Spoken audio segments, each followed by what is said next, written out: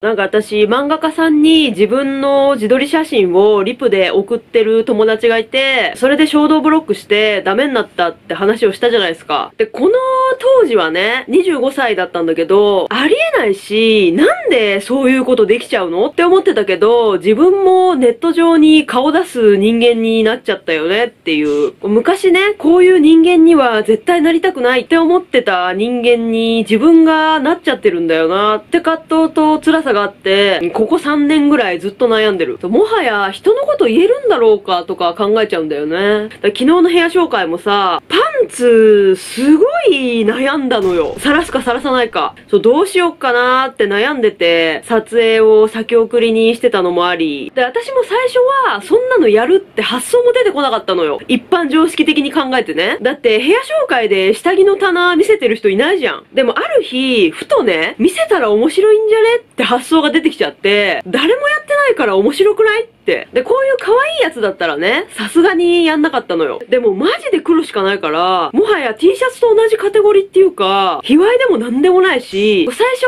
はありえないだったのが、見せてもいいんじゃねえかって思えてきちゃって、いや、そのパンツ入ってる棚は見せるもんじゃないとか、見せちゃいけないっていうのって、勝手な固定概念じゃん。で、一回ちゃんと立ち止まって考えるだけの常識はあったので、周りに聞いてみたのよ。私マジでユニクロのブラトップとトランクスみたいなやつしかか持ってないから、部屋紹介でパンツ棚見せてもいいんじゃないかと思うんだけど、どうかなって。そしたら、ゴミちゃんらしくていいんじゃない？やりそう。いいと思うって言ってくれて、なんかそういうのを見せてる人他にいないから、なんか自分が普通なのか変なのかとかさ、他人と比べる機会がないじゃん？だから参考になると思う。参考？そういうコレクションしてる女の子からしたら、見せてほしいもんって。なんか、卑猥なコンテンツとか言われて、赤番されたら嫌だなってって懸念もあったんだけど、パンツは言うて衣類だから卑猥ではないと思うけどなって言われて、それもそうかと。衣類っていうのがツボだったんだけど、私の友達やってるくらいだから、そもそも周り変人しかいないんだな。だって常識人にそういうこと相談したら、もう即風呂じゃん？そう、だから普段から自分を隠さずにいると、そう自分のパンツ画像を送りつけられる友達ができるので、まあ人数は少ないけどね、ここ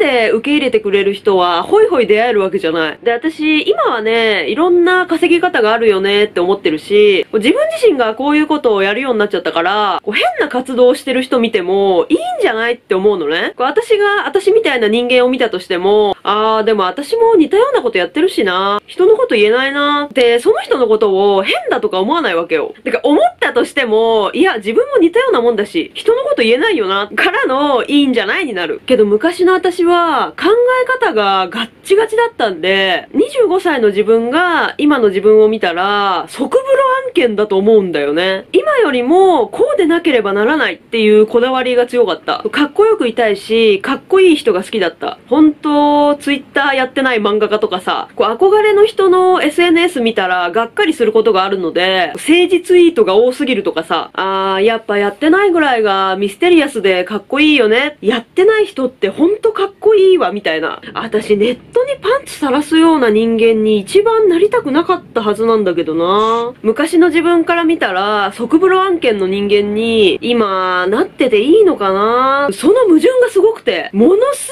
ごい葛藤するんだよね。辛い。どれが正解かわかんなくて、非常に辛い。なんかこの人と仲いいって思われたくないって今、私がめちゃくちゃそういう人間になっちゃってるので、ブーメランじゃん。うーん。まあ、人の考えって変わっていくもので、変わらない方が不気味っていうかおかしいと思うんだけど、やっぱかっこよくありたいって気持ちが残ってってるからかなうーん。なんか、過去の自分を裏切ってるみたいで。昔の自分のストイックな考え方も、それはそれで好きだったから、なんか間違ってるとは思ってなかったし。まあ今よりも生きづらかったけどね。私って自分で言うのもなんだけど、エンターテイナーだから、誰もやってないことをやりたくなってしまうんだよね。これ面白いんじゃねって思ってしまうんだな。こう誰もやってないってことは、やると誰かの救いになるってことだから、経験上、誰もやってないことをやらないと突き抜けられないっていうのが分かってるので、でそうやって今までお金稼いできたのもあり、こう無難な動画と面白くないんだよ。でも無難じゃないことをやるってことは、痛くなるってことなの。こう無難だったら叩かれないし、割と好かれることが多いんだけどね。けどそれじゃあ面白くないじゃんって思ってしまうんだな。で、誰もやってないことをやるのってってすっごい不安なのよ。第一人者になることがね。だから昔はね、そういう痛い人間にだけはなりたくないと思ってた。こう誰かがやってて、ああ、これやってる人いるから大丈夫だな。自分一人じゃないしっていう道しか歩みたくないと思ってたね。でも今は第一人者になんないとダメだって思ってるね。私の人生に関してはね。だから私も新規の交友関係作っちゃダメだなって思うよね、本当に。だって、どっかで会って仲良くなったとして、私が YouTube やってるって知ってみて、で、パンツ入ってる棚公開してたらさ、もうブロックだよね。即ブロだよね。で、知り合ってすぐにその人が私の動画全部見るわけじゃないじゃん？今300本ぐらいあるし。で、仲良くなって1年後とかにおすすめに出てきたとかで、うわ、っって衝動ブロックされたりしたらさ、ダメージでかいじゃん。こう知り合って3日でブロックされるなら傷が浅いけどさ、でもさ、私って本当は今生きてなかったのよ。今まで4回くらい死ぬチャンスがあって、もうどうせ死んだもんだと思えば何でもできるので、こうなんか悩んだ時にこの考え方すると、こう見てる人はドン引きかもしれないけど、あ、パンツくらい別にいっかってなっちゃうんだよなこう見てる人って死ぬかこれをやるかで見てないからな私と同じ目線ではないので。だからね、不女子ブログやってた人がいきなり顔出し活動するってありえないのよ。あの、普通に考えてない。そんな変なことする人誰もいない。だから、私のブログ時代からのファンの人はね、もうすごいがっかりしたと思うんだよね。だ昔の頭の硬い時の私だったら、がっかりするもん。自分で思うもん。そう、可愛かったらまだしも、テンプレ的な芋だし、オタクだし、化粧も下手だし。だから本当にね、ブログのファンの幻想を裏切りたくないなってってすっごい思ってて、けどそれと死ぬことを天秤にかけるとできちゃうんだよね、顔出しが。もうほんとすいませんとしか言えないよね。だからかっこよくありたい、ミステリアスでありたいってっていう幻想が私をすっごい縛ってるんだな。これがなくなればだいぶ生きやすくなると思う。だから今思うと、私がブロックしたり、喧嘩別れしてきた人たちって、こうただ自分の好きなことをやってた人たちなんだろうなって、こう周りの目を気にせず。でも私は多少の TPO って大事だよねってって思う派だからなそれは HSP と共感性周知が関係してて、あの、見てる方が恥ずかしいっていうのがダメなんだよね。だからそういう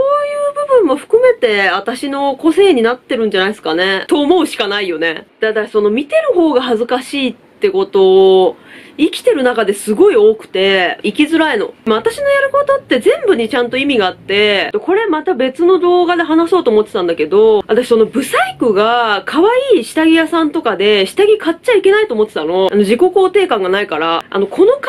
でそういう可愛い店に行ったら笑われると思ってたの。みんなよく行けるなって。その自信どっから出てくんだろうって。で、ユニクロだったら何にも緊張しないで買えるし、そうだから昔からずっとそうなの。で、もし私と同じような人がいたら、あ、トランクス履いてるの私だけじゃないんだって安心できるかもしんないじゃん?何事も当事者に届けば、私自身は笑われてもいいの。こう、生理の時トランクス楽なんやって見てる人の気づきになれば、私も嬉しいしね。まあ、どのパンツも似たような感じだと思うけど、こうやって話してるみたいに、パンツは何も考えずにやってるわけじゃなくて、私にも信念がありますよっていうか、いろいろ考えてやってるって、いちいち毎回言うのも変だし、いちいち言わないイコール、ただの常識のない人に移っちゃうんだよね。私も自分の中で超えちゃいけないラインというか、信念みたいなものを持ってて、こう YouTube やってるけど、SNS にこんなあざとい自撮りとか絶対あげないようにしてる。で、気持ち悪いもん。自分がやるとね。美容系の YouTuber の子とか、そういう子は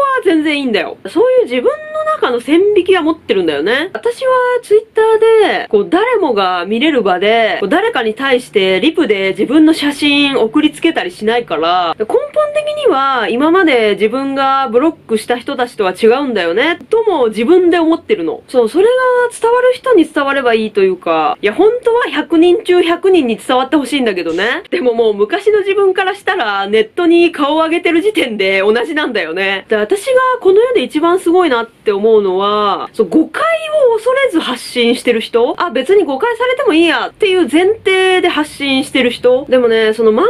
深く読むのと同じで、視聴者もバカじゃないから、自分が思ってるよりも、ちゃんと意図を分かってくれる人？って多いんだよね。なんか私的には2割ぐらいにしか伝わんないかなって思ってるんだけど、実際は7割ぐらいの人がちゃんと分かってくれるよね。でもさ、バカッター時代を体験した人って、ネットに顔出すのって、本当にバカだよねって思ってたの。頭おかしいんじゃねえか。自分は絶対そんな風にならないって。でもね、ヒカキンとか、他の YouTuber とか、まあ、17ライブやってる人とか、インスタグラマーとかさ、すごい成功してるわけじゃんで、ネットに顔出すなんてありえない。その我々の考えは、間違ってたことが証明されたよねみたいなツイートこの前見て、確かにと思って。なんか今の時代って、変なことをやるのも割と受け入れられてきたから、私みたいな人間って、今もう割と普通だよねって姿勢になっちゃったら、抗顔無知みたいな感じになっちゃったら終わりだと思ってて、私は、私の活動は基本的に人に受け入れられるものではないっていう前提で行動してるんだわ。パンツじゃなくて、パンツの棚見せてるのは異常者って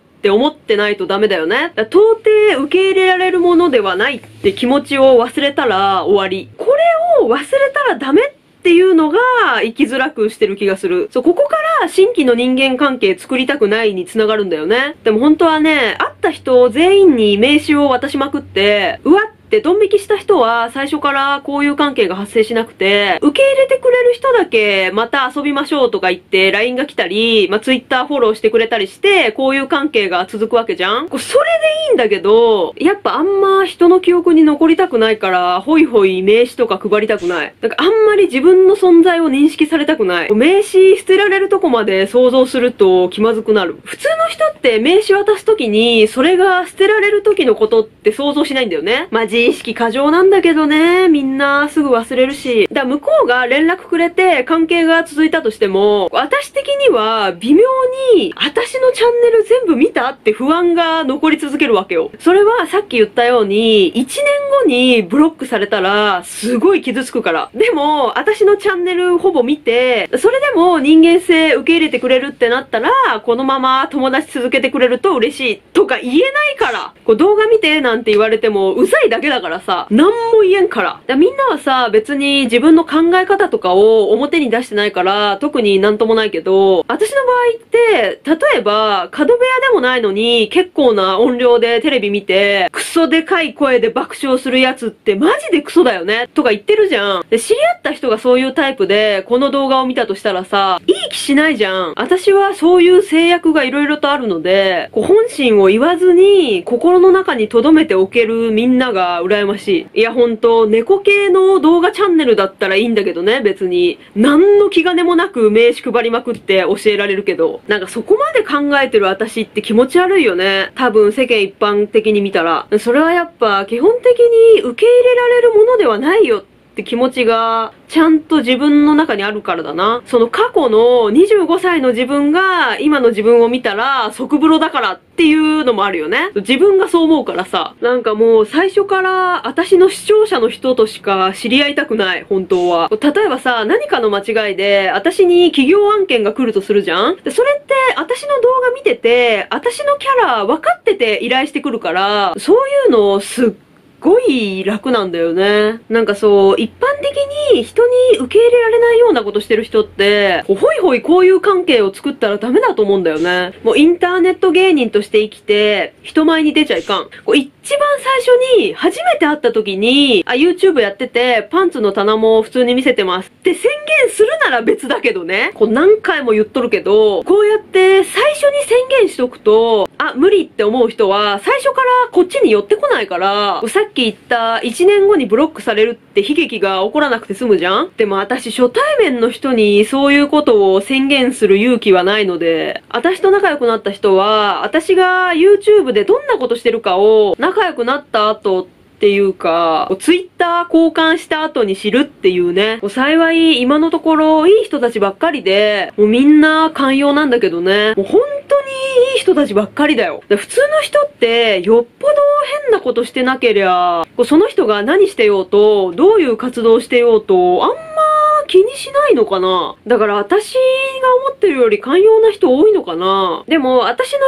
YouTube を結構見てくれてる人だったら割と友情が続くのかっていうと、こう今まで300本動画上げてるとして、その301本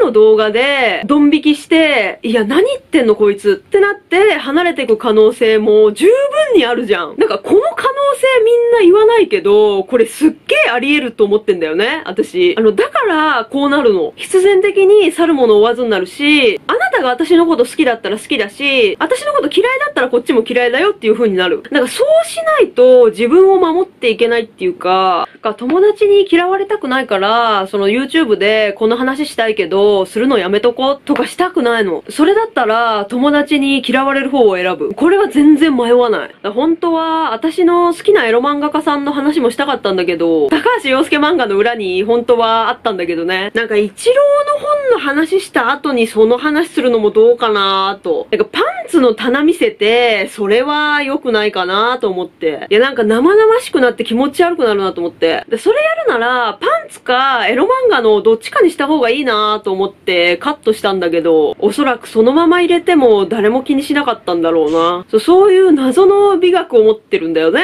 でもそういうのあるよね。周りにエロ系の実体験とか、自分の病気のこととかを書いてる人がいるんだけど、あの、長田カビさんみたいな感じで、こうテニプリでサークル参加してさ、イベントで仲良くなった人がいたんだって。で、やっぱ仲良くなってからエロ系のエッセイ書いてるって知って、ブロックされたって言ってたからね。こう、ツイッター交換したはいいけど、え、この人ってこういう活動してるんだ、ブロック、みたいな感じかな。私なんかそれやられる筆頭の人間だよな。こう、はっきりとはわかんないけど、私がエロ系書いてたからじゃないかなって。やっぱエロ系は難しいんだよね。こう自分にまつわるエロ系だと余計に、私も25歳の時だったら受け入れられなかったかもな。今はさ、え、今までの経験そうやってネタにできるんだからいいじゃんって思ううんだけど、本当に理解されにくいと言いますか、頭が硬い人には受け入れられないジャンルっすよね。だから、頭柔らかくありたいよね。だこのパンツで今までの友達ドン引きして、まあ、去っていく人も多いんじゃないかな。これからもどんどんひどいことすると思うしね。思いついたら基本やっちゃうから。だから怖いのよ。こういう活動するのって。他の人のチャンネルってさ、なんか料理のレシピ特化とか、飼ってる猫のチャンネルとか、そういうのは、その投稿してる本人の内面が出るわけじゃないから全然いいんだけど、私の場合、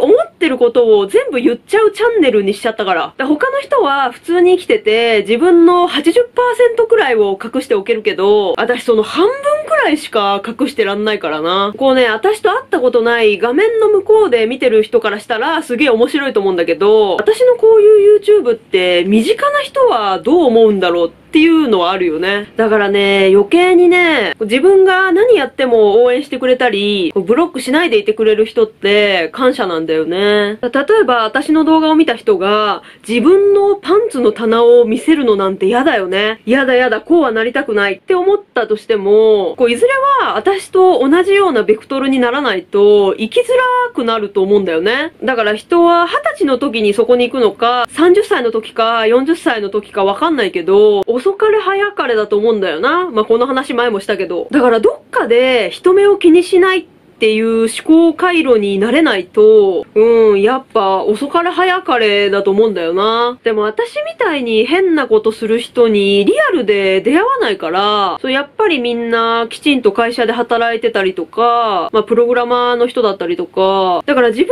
が自分みたいに変なことしてる人に会った時に、どういう感想を抱くかってって本当の意味ではわかんないんだよね。もうヒップマイの歌ってみたとか本当に消したい。で、消したいなら消せばいいじゃん。かっこ笑い。こう消さないってことは見てほしいって思ってるんでしょ？かっこ笑いって思うかもしれないけど、あのね、私昔の同人サイト時代にこう好きだった小説サイトさんがいきなり作品を消すとか、ある日突然このページは表示できませんになったりとかを経験しまくってるのよ。ピクシブもそうだよね。こうブックマークしてたやつがこれになってってた時の絶望感。いつまでもそこにあると思うな、親と絵。まあ、ファンの身勝手な意見としては、え、なんで消すの？もう消すことが意味がわからん。ご本人からしたら、1年前に描いた絵は恥ずかしいとか、見てらんないとか、理由はいろいろあるんだろうけど、こう絵とか小説が描けない人間からすると、いや、全然うまいじゃんと。だからね、本人からしたら、すごく下手とか、こう見てらんないとか思っても、こう見てる側からすすると、そこそこのクオリティなわけですよ。それが分かってるので、私自身はこんなの気持ち悪いし、頭おかしいから消したいと思っても、こう私がネットに上げたものを好きって言ってくれる人がいるかもしれないと思って、消したい気持ちをこらえてるの。で、私がかつて経験したように、え、これ好きだったのに突然消えてるって気持ちを誰かにさせたくないから、その気持ちがすっごく大きい。こ定期的に消したい衝動来るけど。だからね、ピクシブとか保存しなきゃダメだよ。もう私、いつ作者さんが消してもおかしくないと思ってるから、もう見た瞬間に保存するもん。